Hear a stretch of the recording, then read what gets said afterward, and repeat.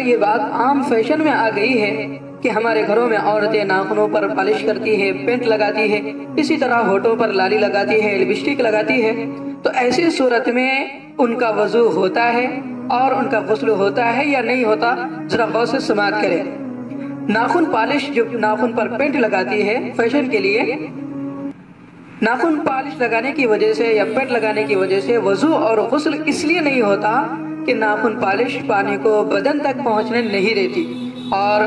غسل کے لیے ضروری ہے کہ انسان کا بدن اتنا بھیگے کہ ایک بال برابر بھی سوکھا نہ رہے۔ اب چونکہ ناخن پالش لینے کی صورت میں پانی اندر نہیں پہنچ سکتا، ناخن تک نہیں پہنچتا، اس وجہ سے اس کا غسل نہیں ہوگا۔ اسی طرح لبوں کی سرخی میں بھی اگر یہی بات پائی جائے کہ لپسٹک لگانے میں اتنا زیادہ لگا دیا گیا کہ اگر پانی وہ ہوٹوں کے اندر تک نہ پہنچ پائے تو ایسی صورت میں وہ جلد تک پانی نہیں پہنچے گا۔ جلد تک پہنچنے کے لیے وہ رکاوٹ بنے گا۔ تو اس کے اتارے بغیر یعنی لپسٹک کو اتارے بغیر غسل نہیں ہوتا اور لپسٹک کو اتارے بغیر وضو نہیں ہوتا۔ اس لیے عورتوں کو چاہیے کہ لپسٹک اور ناخن پالش سے احتراز کرے اب بعض دفعہ کیا ہوتا ہے، عورتیں پہلے غسل کر لیتی ہے، وضو کر لیتی ہے، اس کے بعد بعد ناخن پالش یا پھر لپسٹک لگاتی ہے اور اس کے بعد پھر نماز پڑھتی ہے، تو کیا ایسی صورت میں ان کا وضو ہوگا؟ ان کی نماز ہوگی؟ تو ایسی صورت میں جبکہ غسل کر لیا ہو، وضو کر لیا ہو، اور اس کے بعد لپسٹک لگایا ہو یا ناخن پالش لگایا ہو،